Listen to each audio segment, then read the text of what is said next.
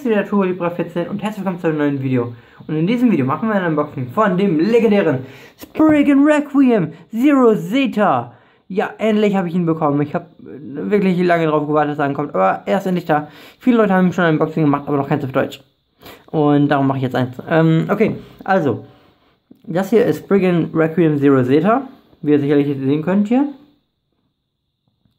Und hier an der Seite ist nochmal eine Abbildung des Starters, der wird mitgeliefert. Der ist ganz besonders. Der hat nämlich eine längere Leine als der von Legend Spring. Und man kann trotzdem hier mit diesem Teil hier unten den Modus ändern, von links zu rechts oder von rechts zu links drehend. Und da steht immer drauf Flight Launcher LA included. Ähm, ja, okay, gut. Hier sieht man noch einmal äh, das, ähm, den Blueprint von Freaking Requiem. Sieht ziemlich cool aus. Gefällt mir sehr. Äh, ja, okay. Äh, jetzt fangen wir auch schon mal hier mit der Verpackung eben mit den wichtigen Sachen an. Also erst von der Karatomie, wie ihr hier sicherlich sehen könnt. Erst der B100. Ähm, das ist auch der Grund, warum das hier Gold ist, denke ich mal. Ist was ganz Besonderes. Dann ist er ein Gleichgewichtstyp. Er ist omnidirectional, also er kann sich beide Richtungen drehen. Und er ist vom Burst System und vom God Layer System. Okay, ähm, hier an der Seite sieht man nochmal die einzelnen Teile. Requiem Zero Zeta und der Starter. Hier an der Seite sieht man auch nochmal, ähm, dass er sich nach links und nach rechts drehen kann. Sehr schön mit dem Gummi hier auch nochmal, darauf kommen wir gleich nochmal zurück. Und jetzt kommen wir hier zu. Hier oben sieht man, da ist der Besitzer, aber ich sage nicht den Namen, äh, ich will noch nicht spoilern, aber das wird jetzt sowieso unweilig jetzt hier auf der Verpackung gesehen, aber naja, egal. Ähm, okay. Also, hier sieht man einmal äh, die verschiedenen Bass, die in Spring Requiem vereint sind. Einmal God Valkyries Rechtsrotation, Nightmare Longinus Linksrotation, Drain Fafnir's Gummi und, und Sig Excaliburs äh, Metall. Da war auch ein Metal God, aber die Äxte sind leider nicht aus Metall, die hier. Das wäre einfach nur zu overpowered gewesen. Ich glaube, dann, wenn die das gemacht hätten, wäre unbesiegbar gewesen. Von daher, ja, die wollen ja nicht das komplette Spiel nochmal zerstören, wie damals mit ähm, Dark Death Also, das hat mir schon gereicht. Okay, ähm, dann würde ich sagen, packen wir das Ganze mal aus. Ähm, okay. Ich habe es hier schon mal aufgemacht. Äh, ich habe noch nicht reingeguckt, aber naja, ich hoffe mal, wir kriegen, ich hoffe wirklich, wir kriegen jetzt den schwarzen. Okay. Okay, los geht's. 3, 2, 1, los. Oh Mann. Ich dachte, wir kriegen jetzt den schwarzen vielleicht, aber naja, man kann nichts dran machen. Ähm, die Chance von den schwarzen kriegt sowieso 1 zu äh, 72, dann wird man nämlich einen schwarzen Spring Requiem kriegen. Ähm, der ist um die 250 Euro wert, denke ich mal. Ähm, okay. Naja, wenn wir den gekriegt haben, wäre das natürlich auch zu heftig gewesen. Aber, naja, was soll man machen? Trotzdem cooler Bay. Okay. Stellen wir das hier mal hier in den Hintergrund. Und, würde ich sagen, packen wir die mal aus. So, und hier haben wir Spriggan Requiem. Sieht er nicht einfach fantastisch aus? Unglaublich. Er sieht aus wie eine leckere Süßigkeit, aber... Oh, er sieht so hammer aus. Es ist einfach unglaublich, was Kronomi sich immer wieder ein, einfallen lässt. Das ist echt der Wahnsinn. Ich muss die echt dafür loben. Super, super Hammer Beyblade vom Design her. Und von der Performance definitiv auch. Ich habe ein paar Videos gesehen und der ist wirklich stark. Auch im Anime einfach nur genial geniale Umsetzung. Ich will jetzt nicht so viel spoilern, aber es wird echt episch. Später noch in Beyblade Burst God bzw. Evolution, so Folge 30 ungefähr, wird es dann richtig heftig. Das kann ich euch sagen. Okay, also, das hier ist Brigand Requiem Zero Zeta. Und jetzt zeige ich euch jetzt erstes einmal eben die Spitze. Wenn, denn wir gehen jetzt mal auf alle Teile einzeln ein. Hier haben wir einmal die Spitze, die heißt Zeta, gerade schon gesagt. Und ich richte einmal die Lichter hier ein bisschen drauf. Jetzt kann man es, glaube ich, besser sehen. Okay, also die Zeta-Spitze ist der Delta Drive nachempfunden. Und sie hat einen blutroten Farbton. Das passt ein bisschen zu ihm ja auch, unserem guten alten Legend Spring. Sie haben, die beiden Base haben eine Verbindung. So viel kann ich sagen, aber ich sage nicht genau, was sie jetzt haben für eine Verbindung. Bitte schreibt es auch nicht in die Kommentare, weil ich möchte nicht, dass irgendwer gespoilert wird. Aber sie haben etwas miteinander zu tun. So viel kann ich verraten. Ähm, okay, also die Zeta-Spitze ist der Delta Drive von Vari Ares nachempfunden. Äh, und auch der, der Blade Base von, ich weiß nicht mehr genau, wie die hieß, äh, die Blade Base, äh, aber auf jeden Fall der Blade Base von Drancer Flame, beziehungsweise Drancer F aus der Plastic Gen, ganz von früher. Richtig cool.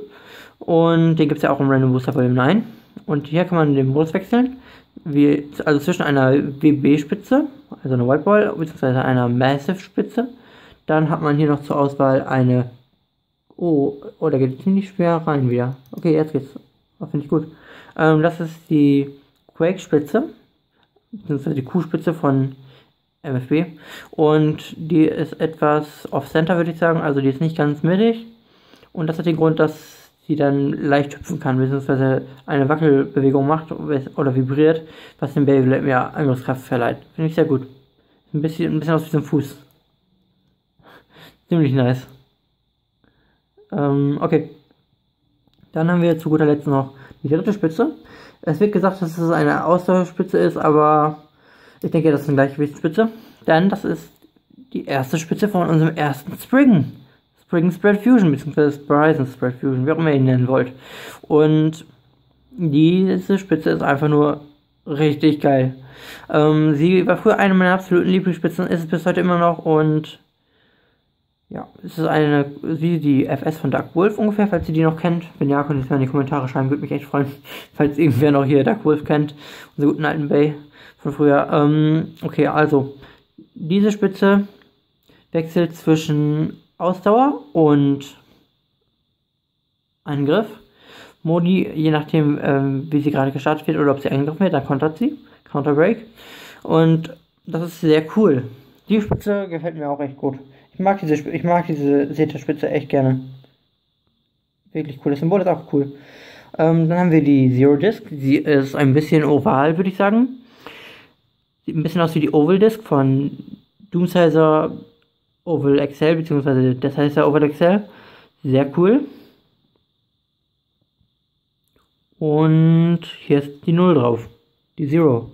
Und hier sind auch nochmal zwei Nullen und das ganze Teil hat irgendwie keine Angriffspunkte, darum heißt es glaube ich auch Zero, weil es einfach keine Nullen hat. Es hat null Nullen.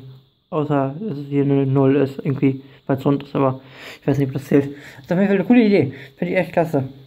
Ist übrigens auch die schwerste Disk, von daher, ja, auf jeden Fall, sie heißt auch wirklich, wirklich schwer. Okay. Und dann haben wir hier zu guter Letzt nochmal den Super Hammer Mega Bay Layer, meine ich, Angriffsring. Ähm, wirklich, wirklich, wirklich Hammer. Also, er sieht einfach wahnsinnig geil aus. Ich kann ihn mal vergleichen hier zu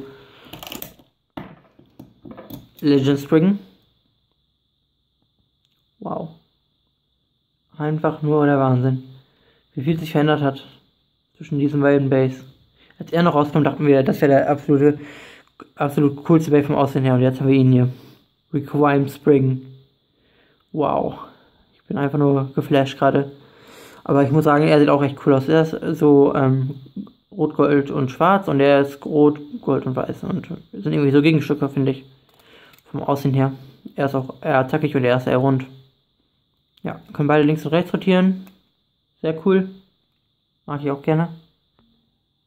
Aber ich persönlich finde, wenn man etwas, also Linksrotation war früher ziemlich selten und von daher habe ich es mir angewöhnt, falls etwas linksrotierend ist, beziehungsweise links rotieren kann, mache ich es in meiner Linksrotation einfach, weil schon, also ich mache es schon aus Prinzip einfach, weil es, man, man, sieht es halt so selten. Mittlerweile geht sieht man es ein bisschen häufiger mit den ganzen linksrotierenden Base, äh, Longinus, Legend Spring, beziehungsweise Requirements Spring jetzt auch noch und dann auch noch Drain Fafnir und alles so ein Zeug. Und Dragoon haben wir jetzt auch noch in Burst. Naja, muss man gucken. Aber er sieht auf jeden Fall richtig, richtig cool aus. Und dann bauen wir ihn mal zusammen. Übrigens, ich wollte noch eine kurze Sache sagen, eben bevor wir jetzt ihn zusammenbauen. Die Seven Disc war früher die schwerste, jetzt wurde sie geoutclassed von Zero. Aber ich weiß nicht genau, ob sie jetzt auch unbedingt in allen Kategorien besser ist. Vielleicht ist die Angriff ein bisschen besser, weil sie hier ein bisschen zackiger ist. Aber naja, mal schauen. Und äh, die Seven Disc ist auch ein bisschen unbalanciert, weil sie hier vier, äh, vier Zacken hat und hier nur drei. Aber naja, egal. Beide Base haben übrigens keinen Rahmen. Was auch sehr interessant ist, finde ich. Und so, und das sind die beiden Base. Komplett zusammengebaut.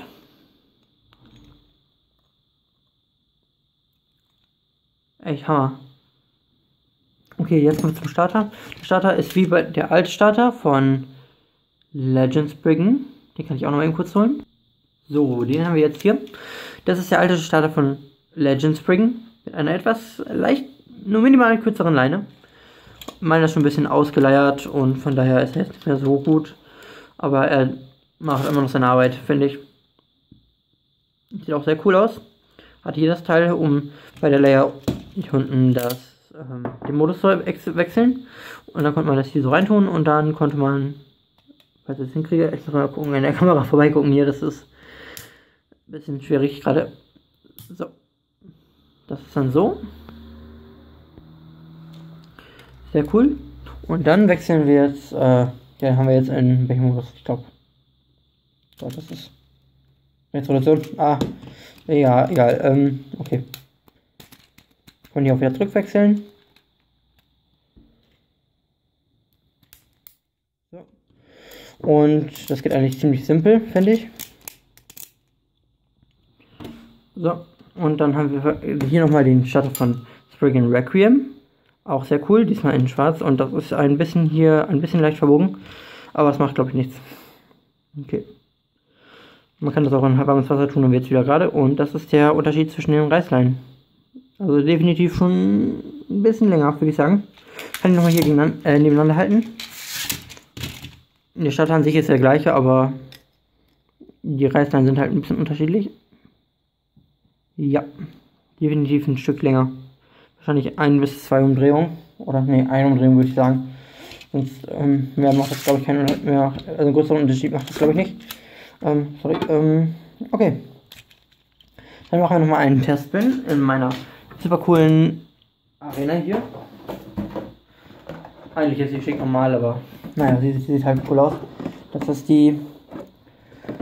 Das, äh, das ist das B09, äh, nicht mehr BB10, sondern B09 äh, Burst Center Type Stadium. Sehr cool. Und dann würde ich sagen, let's go. Als erstes starten wir in den Rechtsrotation. 3, 2, 1, let's go.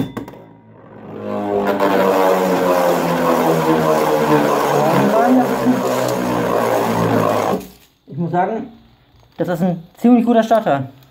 Machen wir jetzt äh, noch wir einen Linksritt. Ah ja, und hier, das habe ich noch ganz vergessen euch zu zeigen.